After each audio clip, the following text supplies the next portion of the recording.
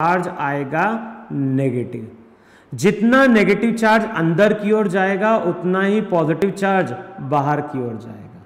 ये ध्यान है, ये चार्ज पूरा सरफेस पे है। अच्छा कितना चार्ज गया? यहाँ पे नेगेटिव और यहाँ पे पॉजिटिव। तो कैसे कैलकुलेट करें? तो यहाँ पे इस तरह से एक और गॉशियन सरफेस ड्रॉ करो। अब ये जो गॉशियन सरफेस हमने इमेजिन किया, ये अगेन कैसा है? सिलेंड्रिकल है। अच्छा बताओ, ये पॉइंट कहाँ है? ये point inside conductor E net zero ये point inside conductor E net क्या हो गया? ज़ीरो ई नेट अगर ज़ीरो होगा तो फ्लक्स भी वहाँ पे क्या होगा? ज़ीरो तो यहाँ पे फ्लक्स ज़ीरो यहाँ पे फ्लक्स ज़ीरो यहाँ पे चार्ज पॉजिटिव है, यहाँ पे चार्ज नेगेटिव है। बताओ लाइंस ऑफ़ फोर्स ऐसी होगी कि नहीं होगी पॉजिटिव चार्ज से ओरिजिनेट करेगी नेगेटिव पे टर्मिनेट करेगी, और साथ में लाइंस ऑफ़ फोर्स कैसी होगी? पैरेलल होगी। देखो, है कि नहीं? है अब बताओ, ना तो इससे कोई फ्लक्स लिंक कर रहा है, ना इससे कोई फ्लक्स लिंक कर रहा है, ना इससे कोई फ्लक्स लिंक कर रहा है। तो फॉर्मूला क्या था? टोटल फ्लक्स किसके बराबर होता है? One upon epsilon naught times q in अगर फाइ की वैल्यू क्या हो गई? ज़ीरो। फाइ की वैल्यू अगर ज़ीरो है तो यहाँ पे हम बोल सकते हैं कि क्यू इन ज़ीरो होना चाहिए। अब क्यू इन कैसे ज़ीरो होगा? क्यू इन ज़ीरो तभी हो पाएगा अगर यहाँ पे प्लस क्यू बाई टू का चार्ज का डिस्ट्रीब्यूशन बन रहा है तो यहाँ पे माइनस क्यू बाय टू का होना चाहिए। तभी तो प्लस क्यू बाय टू और माइनस क्यू बाई टू का चार्ज ऐड होके यहाँ पे क्या हो जाएगा? ज़ीरो हो जाएगा। अच्छा अब यहाँ पे अगर माइनस क्यू बाई टू गया तो यहाँ पे कितना गया? प्लस क्यू बाय टू, और यही चार्ज का मेरा क्या है? डिस्ट्रीब्यूशन है। तो इस पे क्यू बाय टू, इस पे क्यू बाई टू, इस पे माइनस क्यू बाय टू, और इस पे कितना आ गया? Plus Q by two. अब हमें इलेक्ट्रिक फ़ील्ड कहाँ फाइंड आउट करनी है? इलेक्ट्रिक फ़ील्ड हमें फाइंड आउट करनी है at point A, B and C. अब ध्यान है यहाँ पे चार्ज की कितनी लेयर है? तो यहाँ पे एक चार्ज की लेयर है, यहाँ पे एक चार्ज की लेयर है, यहाँ पे एक चार्ज की लेयर है तो टोटल यहाँ पे चार चार्ज की लेयर है। और चार्ज की लेयर के कारण फॉर्मूला था sigma by two epsilon naught sigma की वैल्यू क्या होगी? Q बाय टू चार्ज है, जो कितने एरिया पे जाता है? ए पे। तो वैल्यू पुट करोगे तो रिज़ल्ट होगा Q by four A epsilon naught. देखो है कि नहीं है वहाँ पर अच्छा अब जो भी चार्ज की लेयर है उसके कारण इतनी इलेक्ट्रिक फ़ील्ड बन रही होगी। अब आओ ए पॉइंट पे जरा। प्रॉपर्टी क्या ध्यान रखनी है? पॉजिटिव चार्ज के कारण लाइंस ऑफ़ फोर्स ऐसे ड्रॉ करोगे, नेगेटिव के कारण टर्मिनेट करेगी। ये चार्ज पॉजिटिव है तो इसके कारण लेफ़्ट। ये चार्ज पॉजिटिव, इसके कारण भी लेफ़्ट। ये चार्ज नेगेटिव है तो इसके कारण राइट। ये चार्ज पॉजिटिव है तो इसके कारण यहाँ पे, अब बताओ, सभी इलेक्ट्रिक फ़ील्ड तो यही है कि नहीं? सब लेयर के कारण? हर लेयर के कारण इलेक्ट्रिक फ़ील्ड इतनी बनेगी तो ये दोनों कैंसल आउट हो गए। रिज़ल्ट अब क्या हो जाएगा? रिज़ल्ट हो जाएगा Q by four A epsilon naught plus Q by four A naught तो ये क्या बन गया? इलेक्ट्रिक फ़ील्ड लेफ़्ट की ओर आएगी और कितनी आएगी? Q by two A epsilon naught देखो ये कि नहीं वहाँ पे तो ए पॉइंट पे अगर इलेक्ट्रिक फ़ील्ड की बात कर रहा है तो वो वैल्यू हो जाएगी Q by two A epsilon naught अब आओ बी पॉइंट पे जरा इस पॉजिटिव चार्ज के कारण राइट इस पॉजिटिव चार्ज के कारण राइट इस नेगेटिव चार्ज के कारण राइट इस पॉजिटिव चार्ज के कारण लेफ़्ट फिर से ये दोनों क्या हो गए? कैंसल आउट हो गए। तो दोनों इलेक्ट्रिक फ़ील्ड को ऐड करोगे तो रिज़ल्ट वही आएगा Q by two F naught लेकिन डायरेक्शन क्या होगा? राइट right की ओर होगा। अब यहाँ पे आओ। इस पॉजिटिव के कारण राइट right, नेगेटिव के कारण लेफ़्ट इस पॉजिटिव के कारण राइट right, इस पॉजिटिव के कारण भी राइट right, ये दोनों कैंसिल आउट हो गए। फिर से ऐड करोगे रिज़ल्ट अगेन कितना निकल के आएगा? Q by two A epsilon naught तो इस तरह से हम इलेक्ट्रिक फ़ील्ड क्या करते हैं, किसी भी पॉइंट पे फाइंड आउट करते हैं। क्लियर इतना? फिर आ जाओ वहाँ पे। अगेन फिर से दो शीट लो।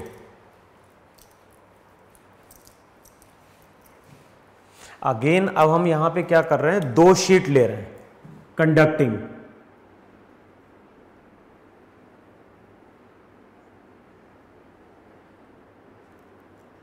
लेकिन ध्यान ना इससे पहले जो हमने केस डिस्कस किया था, वहाँ पे एक शीट कंडक्टिंग एक शीट एक कंडक्टिंग शीट थी चार्ज और दूसरी क्या थी वहाँ पे? कंडक्टिंग शीट थी, लेकिन वो न्यूट्रल थी। अब यहाँ पे दोनों कंडक्टिंग शीट को हमने चार्ज दिया है।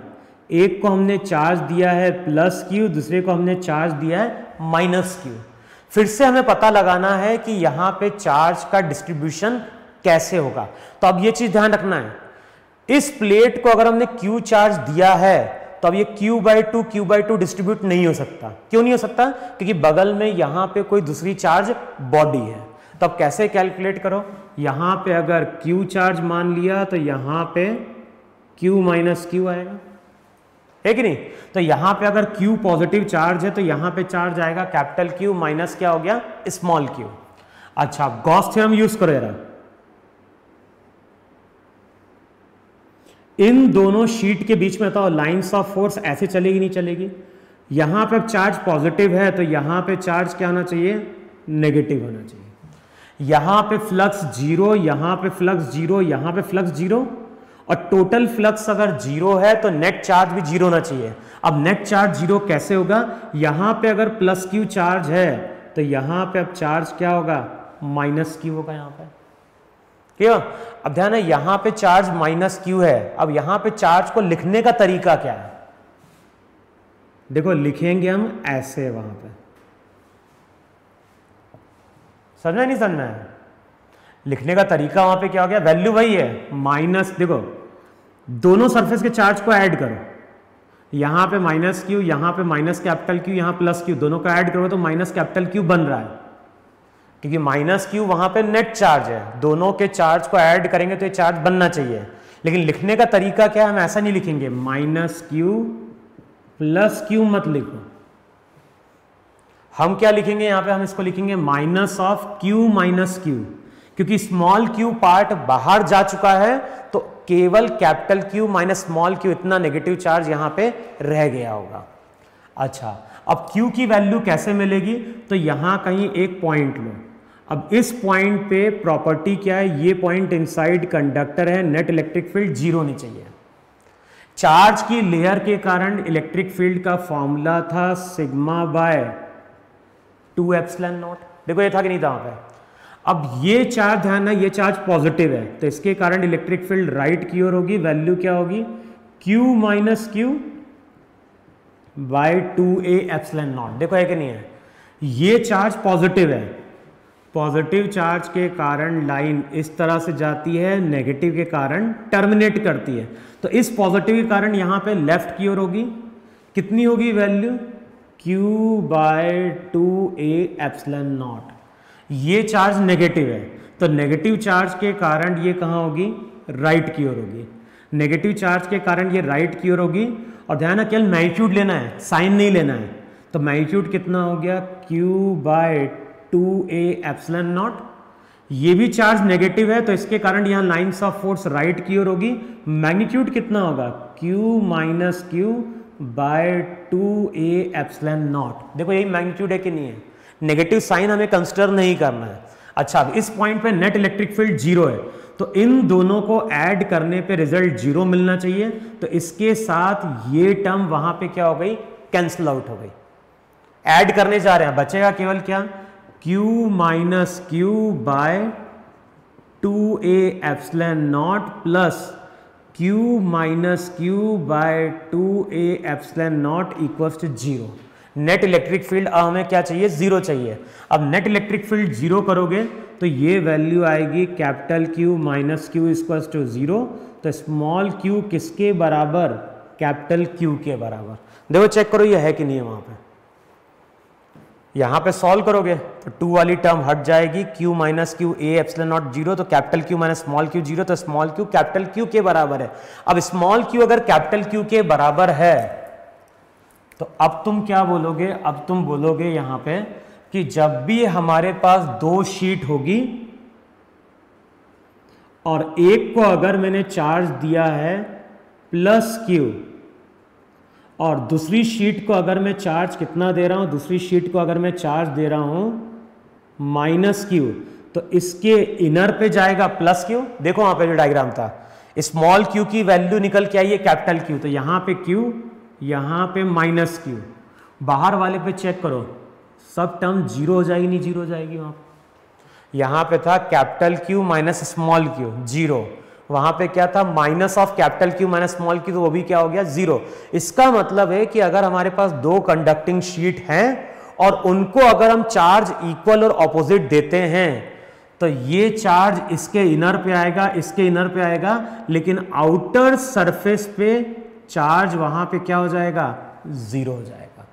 और आगे जाओगे, इस तरह का जो अरेंजमेंट रहता है, उसको वहाँ पे आगे हम नाम देंगे पैरेलल प्लेट कैपेसिटर जो आगे हम लोग कैप्स्टर पढ़ेंगे। तो ये केवल ध्यान रखना है कैप्स्टर पढ़ते वक्त कि अगर हमने प्लेट को प्लस की और माइनस क्यू चार्ज दिया तो वो दोनों चार्ज कहाँ जाएँगे उसके? इनर सरफेस पे जाएगा। आउटर सरफेस पे कोई चार्ज नहीं होगा। अच्छा अगर हम इलेक्ट्रिक फ़ील्ड की बात करें तो इलेक्ट्रिक फ़ील्ड ज़रूर हो सकती है। यहाँ पे एक पॉइंट लो।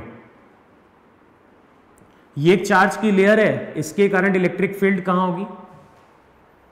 हम बात कर रहे हैं हो भी सकती नहीं भी हो सकती। तो हम चेक करने की कोशिश कर रहे हैं। इस प्लस क्यू के कारण लेफ़्ट की ओर इस माइनस क्यू के कारण राइट की ओर। तो, तो ये कैंसिल आउट हो गई नहीं कैंसिल आउट हो गई। यहाँ पे अगर कोई पॉइंट लेंगे तो नेगेटिव के कारण लेफ़्ट पॉजिटिव के कारण राइट ये भी तुम्हारी वहाँ पे क्या हो गई? कैंसिल आउट हो गई। लेकिन अगर मैं कोई पॉइंट मिड में लू तो इस प्लस क्यू चार्ज के कारण लाइंस ऑफ़ फोर्स राइट की ओर, नेगेटिव चार्ज के कारण लाइंस ऑफ़ फोर्स राइट की ओर, कितनी इलेक्ट्रिक फ़ील्ड होगी इस पॉइंट पे? इस पॉइंट को बी बोल दो, मान लो। तो हम क्या बोलेंगे? Electric field eight